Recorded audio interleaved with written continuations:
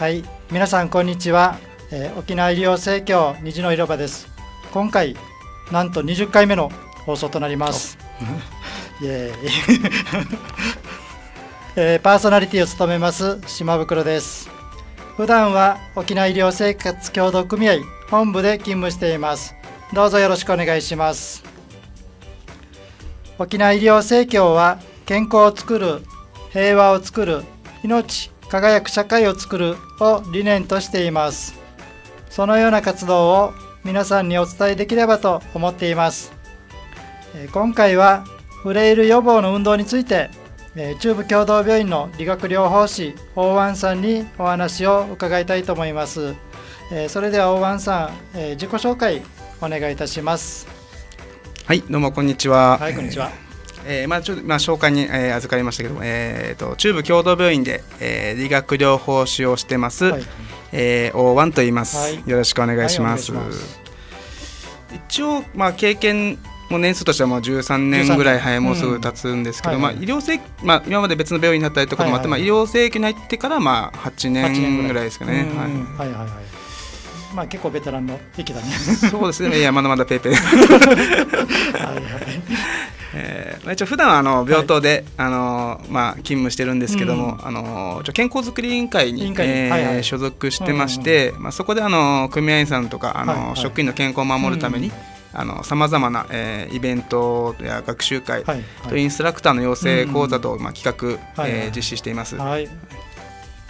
えーまたあの、まあ理学病院で理学療法士と、えー働く方はですね、とはい。今、えーフットボディバランスアジャスターという資格を、えー習得してまして、まあ、足元から、うんうん。えー笑顔にするための、まあ、はい靴と、えーインストールの専門家でもあります。インソールの専門家、はい。なるほど、えーもう一度フット。えーフットボディバランスアジャスターですね。なかな。か難しい資格。ちょっと名前難しいですけども、はい。あまあまああのはいあのいろいろあしえーまあいろいろねあのまあ歩きづらい方とかですねあの、うん。歩きづらい方とか、はいあのえーまあそういう方に対してまあ靴とインソールで、まあえーまあ調整してあげる、はえーまあ専門家という形で。専門家。ね。これはあのなんか民間の団体の資格あそうですね。はい。うんうんなるほどね。えっ、とまあフットと沿道でボディバランスもあるんで、まあ、体のそのなんていうかな。この調整調整というか、そうですね。あそういうまあのもっていう感じですか？ちょあ。体の調整なんて言ったらいいんですかね？あのーまあ体自体がもうですねあの足元が土台になっているので。はいはいはい。足元を整えることで、まあ、体全体を、まあ、調整するという意味合いです、はいうんはいはいはい。体自身を触るわけではないんですけど、はい体の、まあ、足を持って体のバランスを整えるっていう感じですかね。なかなか難しい。えっと、あのあそうそうあの私もねちょっと靴履いてる時にうーんなんていうのかな。右あ右じゃない外側はいはいはいの方が両方の靴がすりすり減るのが多いので多分ヒレ足っていうかなんていうのかな外側に向いてるのかなと思うんですけどそういったのもなんか調整できるんそうですね、かまあえーとまあ、靴が合ってなかったりだとかすると、やっぱり歩き方が悪くなってくるので、うんうん。まあ、どうしてもその、えーだんだん片方に、えー削れてきたりとか。い。つもね外側が削れる。そうですね、このやっぱまあ皆さんも、えー自分の靴を見て、まあ、裏見て、うん。まあ、もし削れてるとこだったらやっぱり、えー歩き方が悪い、うん。バランス悪いねはい、バランスが悪くなってる証拠ですね、うん。まあ、これがもしかしたらあの、えー足に靴が合ってない、足に靴が、あ、はい。なるほど。うん。まあ、靴に足が合ってない、まあ、足に靴が合ってないです。ね、えーまあなっている可能性がはい、なっている可能性がありますので、うんうん。まあ、本当はね専門の方にちゃんと計測してもらって、はいはいあの正しい靴選びを、えーしていただけたらなと思います。はいはいありがとうございます。はい。あとはあれですか、コロナでなかなか活動ができない。そうですね、まあえっと、コロナ禍の前はいろいろイベントとかも開いてたんですけど、うんまあ、今年度はちょっとあまり活動できてないですね、はいはいはいそれまであの、えっと、足の無料計測相談会とか、えーうんはいはい。開いたり、まあ、あの子ども健康祭りの方で、うんうんえーブースを出させてもらったり、祭りでね、はい。あの足の計測したりとか。はいね。うん。はいあと半会とか、まあ、沖縄市とかの依頼であの講演等、うんはいあのちょこちょこやってたんですけども、はいはいはい。えーなかなかちょっと 今年度はねうんちょっと難しくてね。はい、できてないですね、うん。ここ1年以上ですね、はいうん。はいなるほどね。はいはい。まあ、一応今まで、まあそうですねまあまあ、病院で働いてはいるんですけども、うん。やっぱり、まあ、病院で、まあ、すでに病気になった人と、はいはいえー関わる方が関わることが多いんですけど、うん。やっぱり病気になる前のやっぱ予防がやっぱ大事だと、はいはいなかなかまあ病気されると、まあ、元の状態に戻るっていうのが、難しい、はいはいえー現状をまあずっとやっぱ見てきていますので、えーまずはまあなる前に予防ですよね、はいはいまあ、そのためのフレイル予防っていうこともで、まあ、いろいろやってはいるんですけども、はいはいまあ、沖縄のですね、まあえー広い意味で健康寿命を、えー伸ばしていくための活動を、まあ、今後もしていきたいと考えています。まあ、足を足からの健康ということで。足元かも、はい。まあまあトータルですね。はい。まあ、あの今後もねまたよろしくお願いしたいと思ます。はいいよろしくお願いします。えーっと大安さんのねまあ出身地っていうのも聞いてみたいなと思いますが、そうですね、もう、えーまあ、大湾と聞いて、まあ、皆さん、えーまあ、読みたんかなって、ねうん思われる方も多いと思うんですけど、一応本籍は確かに読みたんなんですけど、あ読谷僕私自身はもう那覇生まれ、はい。あの長育ちですね、はいはいあのまあ、今はちょっと、えー結婚して、えーまあ、ハイバルに住んでるんですけど、あ早原なんですね、はい僕も早原なんですよ。あそうですね、ああ同じじゃあ近いですね、ど同村ですね。なるほど。あじゃあどっかで合ってるかも、のあっちのなんかあのジャスコとかでやってるかもしれない。あそうですね。まあいいか。はい。あとあの趣味とかも聞かせてください。いや、まあ、まあこれといって、まあ、特別な趣味はね、まあ、ん今現時じゃないんですけど、はいはいまあ、もともとはあの、まあ、踊るのが好きでー。あれダンスもうあ特別ダンス習ってたわけじゃないですよ。あのただあの、まあ、なんかノリのいい音楽が流れるとあのちょっと急に踊れてしまうんで、踊はい。りた、だからちょっとスーパーとか流れてて誰も見てないちょっとなんかステップ踏んだりとかあのしてちょっと怪しい人になってる時が。ちょっ ちょっと誰も見てないのを確かめてです。よ、はい。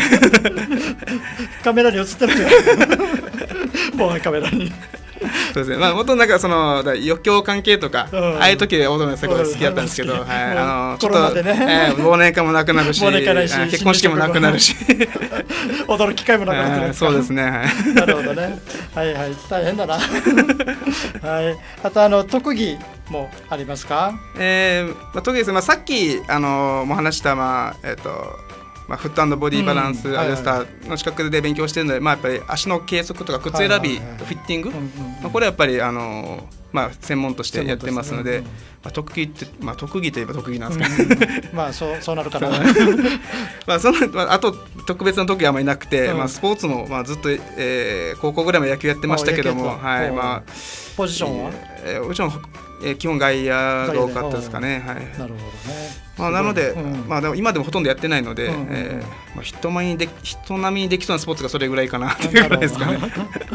まあね野球も楽しいよね。あとは、えーマラソンもマラソンもやってる。うん。そうですね就社会人になってからマラソンもずっと、えー那覇マラソンのは出てたんですけども、えーちょっともう子供が生まれても5年ぐらいはもうずっと出てうん。ななかなか練習できなくて、はいはい。うんまたコロナでねマラソンもできすいません、マラソン大会も今なくなってしまって、うん。ちょっと、なかなか大変ではあるようん。ね。スポーツもできない、集まるのもできない、いろいろ大変ではありますね。まあ、ちょっと来こ今、えー来年度ぐらいからは、そうですね、うん。ちょっとワクチン接種も始まって、そういうイベントとかもできなってたらなと思いますけどね。いいと思いますけどね。うん。はいはい、ありがとうございます。えーあと、まあ、休日とかね、の過ごし方も聞かせてください。でも基本的にもう今、えー子供が、えー、3人、まだ三人。1歳、3歳、5歳として、まちびちびちゃいなので、もうほぼ子供たちと遊んでることが多いですね。こんもり、はい。こんもりというかあれだね、はい。子供と遊ぶということだね。ちょっとまあはお昼の時間にちょっとまあウェブでセミナーを受けたりとか、はい、たまにやったりしてますけども、なるほどね。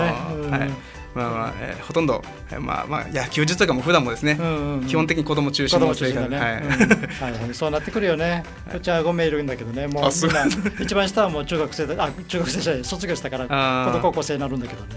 まあもう、そんな感じです。だもう子育てはもう行って終わってます、私。まあ大変だよね。いやもう今の時期が一番大変、うん。まあでも頑張ってね、あの 子育ても。そうか、あと好きな食べ物とかもありますかね。基本はもう肉、まあ、ステーキ。あ肉ねステーキ。はい、ステーキが好きですかね。はいうんい。いね、あの、うん。そうか、まああまりあのねお高いところは行けてない行けないんですけど。まあでも薄くてもステーキはステーキだから。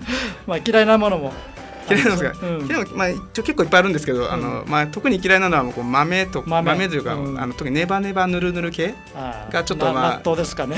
えーそれが合わさっちゃ納豆はもう最もうちょっとむず食べれないですね納豆はね完僕もダメ。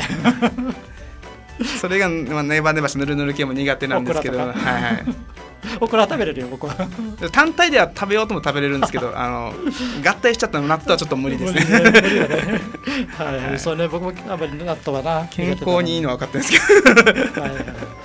あとはまあアーティストとかも好きなアーティストいますかね？いやー、まあ、アーティストもそうですね、まあ、特にまあ特別な方はいないですまあまあ、うん。あのね、えーまあ、特に踊れるようなノリのいいノリのいい曲だった。らはい。まああのまあまあいもう引退しましたけど安室奈美恵とかは、はいはいはいあのやっぱりノリもいいです。し、まあ、ダンスもすごいので、あの家であの DVD 流して流して踊ってえー踊るとちょっと子供に惹かれて「パパ踊らないで」ってちょっといつも注意されるので、はい。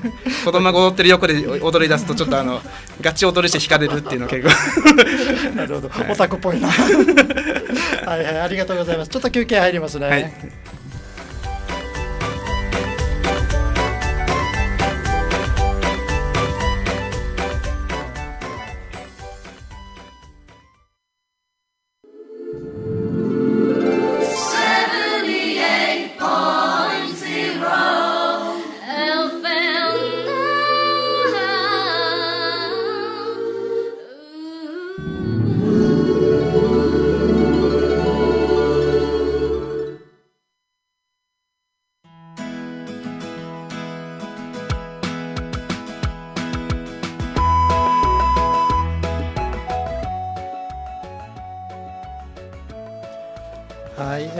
続き沖縄医療生協日の広場をお届けします。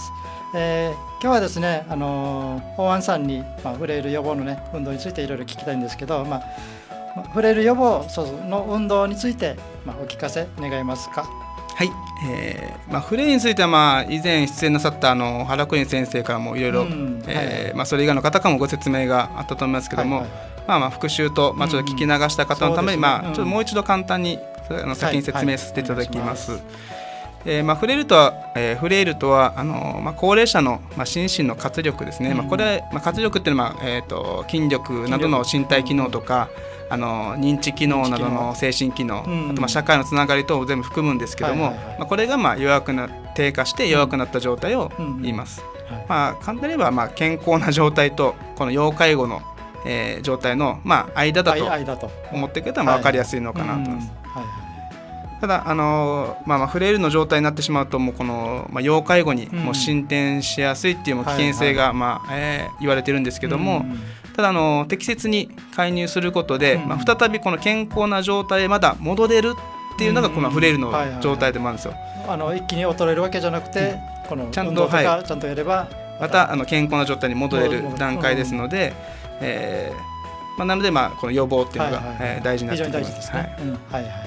あのまあフレイルのね予防運動のまあ必要性も教えてほしいんですけど、それ,、えーまあ、でそれでは、まあえっとこのフレイル予防に、まあ、なぜ運動が、まあ、必要なのかっていうことですけども、はいまあ、まず、まあ、フレイルには先ほど言ったあの、まあ、筋力低下などによる、えー身体的フレイル、うんうんうん。あとは認知機能などの精神的フレイル、はいはいまあ、社会のつながりが途絶えてしまう社会的フレイルがあるんですけども、まあ、これももう相互にもう関連性を持ってて、まあ、どれが欠けてももちろん起こり得る可能性があるんですけども、えーまあ、運動でいうと例えば、まあ、加齢によってあの、引き起こる筋力低下、まあ、これと専門的な言葉だと、まあ、サルコペニアとも言いますけどサルもコペニア、はい。はいはい。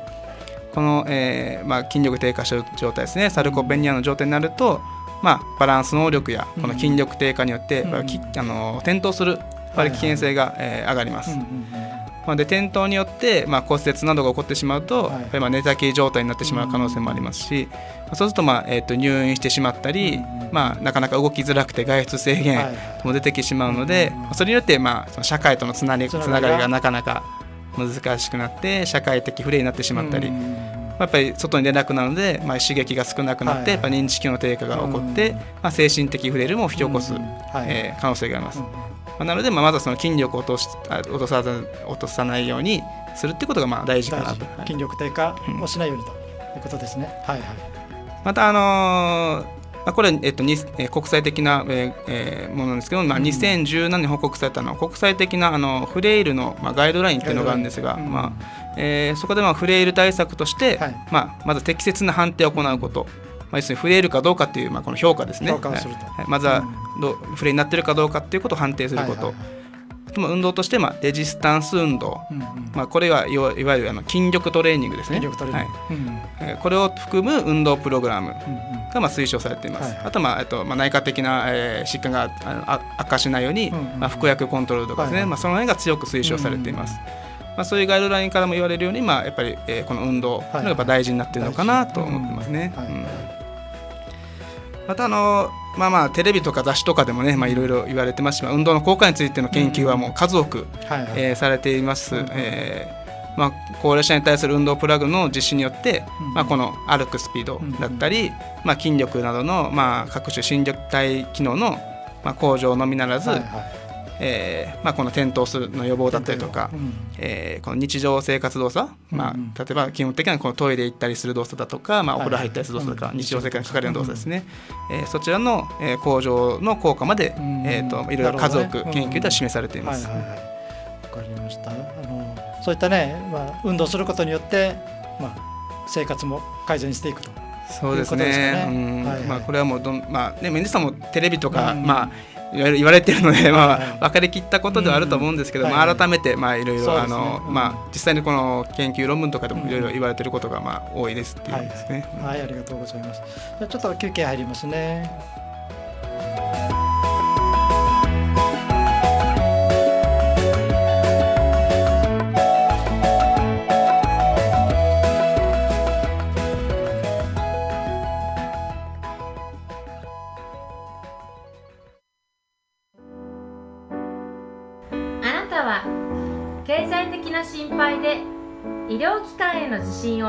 我慢していませんか？周りにお困りの方はいませんか？沖縄医療生協では受診時の窓口負担が一時的に減額免除される無料定額診療事業の制度をはじめとした安心して医療が受けられるよう相談窓口を設置しています。電話0 9 8 8 5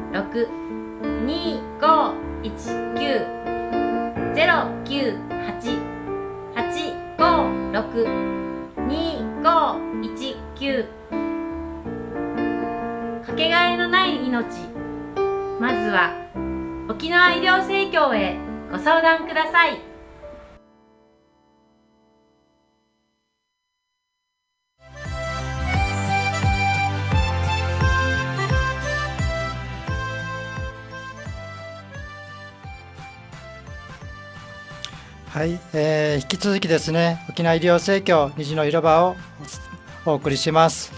えーっと、あ、フレイルのですね、お話で、まあ重度化っていうのもあると思うんですけど、そういったのもお聞かせください。そうですね、えーとまあ、フレイルにからまたあの、まあ、適切な介入することで、まあ、健康な状態に、えーまあ、戻れるっていう、えーこともあったんですけども、はいはい。やっぱり何もしないと、うん今度どんどん重症化していく、うん。えー可能性もあります。はいはいはい。特に、まあ、私は、えーまあ普段、えー入院病棟で、うんあのーまあ、仕事してますので、はいはいはい。この入院っていうのも、うんまあ、すごいこのフレイルの重症化にはかなり関わってると思いますね。えーまあ、大体、まあまあ、病棟では高齢の入院患者さはいはいはい。ん見るんですけども、お家で普段歩いてたとしてもやっぱり病院に来るとほとんど動かなくなるんですよ。なくなる。うん、なね。まあ、そもそも、まあえーまあ、お家だと家事とかねいろいろやることがあったりするんですけど、はいはいはいまあ、そんなのする必要もなくなるので、ほとんど、まあ、あのベッドの上で、まあ、座ってるか、うんまあ、寝ながら、まあ、テレビ見てる方とかもほぼ一はい日ベッドで過ごす感じ。多いですし、うん。まあ、例えばじゃあこの方にじゃあ運動したいって意欲があったとしても。結構あの、まあ、病院って変わるかもしれませんけどあの、まあ、制限されることも多いんですよ。例えば何か、えーまあね、検討の危険性があるから危ないからとか歩かないでとか。はいリハビリに評価した後にやってねとか、うんまあ、そもそも何かしらご病気してきてるわけなので、うんあのまあ、何かその、えー病状が悪化しないように、ちょっと運動を控えてねとか、うんえーリハビリの人と一緒にやってねとか、っていうことになって結構運動自体も動けるんだけど制限されてしまう結構多くて、えーなのでほとんど、まあ、あの動いてない状態なんですよね。うんあのなのでそれによるあの、まあ、能力障害っていうのも実際起こる可能性が、うん。えーすごいあります。なるほど。まあ、それの、まあ、予防も、まあ、もちろん運動が、うん。まあ、1日20分ぐらい運動するとそれも防げますよっていう、まああまあの20分のはい。まあまあ、運動プログラムですね、まあ、まあ、たうんリハビリとしての運動だと思うんですけども、まあ、そういうのを、えー加えることで、うん。まあえーとえーこの入院関連の、えーまあ、能力低下っていうのも、うえー防ぐ、えーことも可能性があると言われてますので、うんまあ、まあそこもやっぱり運動がやっぱ大事なのかなとは思いますね。ね、20分ってそんなに長い時間でもないので、うん。一日まあ、1時間2時間ではない時間なのでそれぐらいね運動ができれば本当にいいかなと思いますよね。ただやっぱりでもやっぱり一番入院しないようにすることが 大事かなと思いますので、ね。あのえーまあまあフレイルの方に限らずですねやっぱりこの、まあ、日常的なこの、普えー生活習慣ですよね、うんはい。えーえーまあ、睡眠食事、うんうんうん。えーまあ、適度な運動、うんうんうん。えーまあ基本、まあ、それがやっぱできてない方が、うんうえー病状がどんどん悪化していくかなと思いますので、はいはいうんうんうん。まあ、それを、まあ、やるっていうのは、まあ、確かに難しいんではあるんですけども、うんそういうのをやっぱ心がけて、はいはいまあ、いかに健康に、えー過ごしていくかっていうことが、まあ、大事かなと思いますね。うんうん。はいはい。えあとあと他にもありますか？そうですね。あと、えーまあまあ、いろいろ、まあ、いろいろ今言ったんですけど、まあ、実際にどんな運動が、まあ、いいのかと言いますと、まあ、先ほど、あのまあ、国際ガイドラインにあったように、まあ、このレジスタンス運動、はいはい。まあ、いわゆる筋力トレーニングですね。うんうんまあ、これがやっぱり、あのまあ、筋力や歩行速度の改善に、えー有効であったとされてますので、うんうんうんやっぱり筋トレですね。はい。うんまあこれをやっぱり加えていただくっていうのがいいかなと思います。うんうんまあ、特にまあおすすめはやっぱりスクワットトですね、うん。あのまあ、筋力低下はやっぱりこの上肢ですかこの,、はいはいはい。えーこの手というよりもうん。この足の方足。の筋力に、うん。まあ、著名に、えー起こりやすいっていうあの足はなんかすぐ衰えるって、そうですね。聞きますよはいはい。上半身はあまり衰えないけど。まあ、これに詳しい内容はまたあのフレイルの、まあ後で紹介します。動画の方で、はいはいまあ、原口が説明してくれてますので、そういう研究論文とかもありますので、えー実際のあのなんか画像とかもありますから、はいはい。えーやっぱりかやっぱり足のがすごい細くなっていきやすいっていうのがあります。例えば足の筋力をつけるためにこのスクワットとか、うんうん。うんえーもしくはこの、まあ、椅子からの切り立ち上がりですよね。ああいうのがこの、まあ、やっぱり足の太くに、まあ椅子で何回かそうですね。10回やるとか、はい。立ち上がる前にあ立ち上がる前に10回やるとかそんな感じですかね普段。あでも立って座って立って座ってっていう例とかをを何まあ繰り返して、はいまあ、これがまあこの太ももとかの、うんえーまあ、一番筋、えー足のですね筋力がいっぱい、あ筋肉がいっぱいついてるところに、うんえー使いますので、はいはいはい。えーまあ、そういう運動がまあおすすめかなと思ってます。うん。はいまあ、座りながらできる運動とか。そうですね、はい。やったりとか、もちろんまあえっとフフレイルになってるなりなってる方ではありますので、まあもちろん、うんあのまあやり方とかね負荷量はまたちょっとえー気をつけないといけないかなと思います。まあその辺はまたちょっとね後ほどご説明したいと思うんですけども、あとはまたあの転倒とか、先ほど言ったあの日常生活動作この、えートイレだったりお風呂だったりとかうんうんこの複合的なこの能力向上にはですねあのやっぱり筋トレだけじゃなくて、まあ、いくつかやっぱりあの運動を組み合わせた方がいいとも言われてます。筋トレだけではなくて、はい。この筋トレプラス例えばウォーキングだとウか、あとはこのえーバランスの運動ですね、えー片足立ちとか、はいはいはい。そういう運動も一緒に、えー組み合わせることでえーこういう転倒とか、うん。えー出る予防も、えーあ日常生活動作の予防も、えーあできると言われてますね。はいはいはい、はい、えっ、とちょっとだけ休憩入れますね。はい